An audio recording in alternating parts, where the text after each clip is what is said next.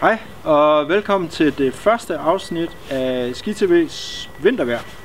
Øh, vi kommer til her igennem sæsonen at sende øh, en gang om ugen her om fredagen, hvor vi øh, gennemgår vejret for alberne og for Skandinavien, som jo er de steder, der er flest danskere, der tager hen. Så hvis du vil se, hvordan vejret bliver og hvordan det har været, så kig med her. Hygger I?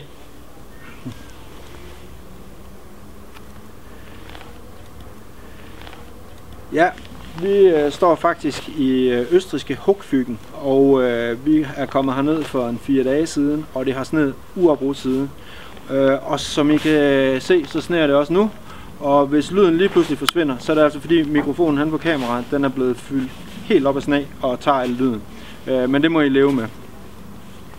Øh, som I kan se på øh, her, så har der været øh, nogle store systemer ind, og de ligger altså fast, især her over den østlige del af Alperne, hvor, øh, hvor øh, der er faldet flere steder over halvanden meter sne i de øh, sidste 5-6 øh, dage.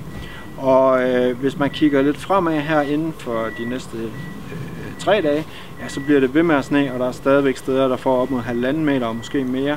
Og det samme er næsten gældende, når man kigger 3 til 6 dage frem.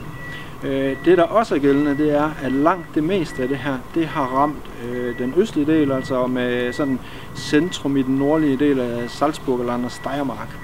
Så øh, øh, de steder, der er simpelthen så meget sne, altså så nogle danske steder som Saalbach og Wagrain, de er dækket ind for hele sæsonen. Det er væltet ned, og det fortsætter stadigvæk. Kigger man længere vestpå og kommer over til Frankrig og Italien, øh, så er der ikke kommet nær så meget, og solen har også været fremme derovre, men meldingerne er altså, at langt de fleste lifte og piste, de er åbne, så øh, står man og skal dertil, så skal man nok få en god skitur alligevel. Kigger vi øh, mod nord og Skandinavien, så øh, ser det ikke helt så godt ud, som det gør hernede i Alperne. Derop der øh, har det holdt lidt hårdt, og der har været en varmfront ind over øh, omkring jul, som øh, har givet tøvær, og det er blevet et lidt hårdt underlag. Øh, heldigvis så øh, lover de her i øh, den kommende uge, at der kommer sne. Øh, og det er ikke lige de første dage her, der er stadigvæk lidt varmt, men øh, når vi kigger frem øh, på 3-6 dages prognosen, så kommer der faktisk sne over hele øh, den skandinaviske højderyg. Så øh, det ser også lovende ud for sæsonen deroppe. Værkortene, som øh, er brugt her, de øh, stammer fra øh, hjemmesiden snowforecast.com.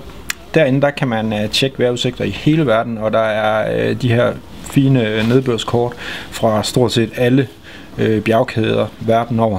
Øh, samtidig så kan man gå ind på alle de destinationer, som er i, også i hele verden, øh, at gå ind og få en øh, meget detaljeret øh, udsigt for, øh, hvordan vejret bliver, og også hvor meget nedbør der kommer, øh, og om det er sne eller hvad det er, der kommer. Det er virkelig øh, sjovt at gå på på øh, opdagelse derinde. Øh, man skal være medlem for at se frem, øh, ni dage frem, øh, men der er masser af andre ting, man også kan se derinde. Så jeg har lige lagt et link her under i øh, beskrivelsen, og så kan I lige gå ind og kigge på den. Den er mega fin. Hvis øh, du synes, at du vil følge lidt med i, hvordan vejret det bliver frem imod øh, øh, jeres skiferie, jamen øh, så husk nu endelig at følge kanalen her på logoet her. Øh, og så øh, vender vi tilbage igen næste fredag med en ny vejrudsigt og, og prognose for, hvordan øh, den kommende uge bliver. Vi ses.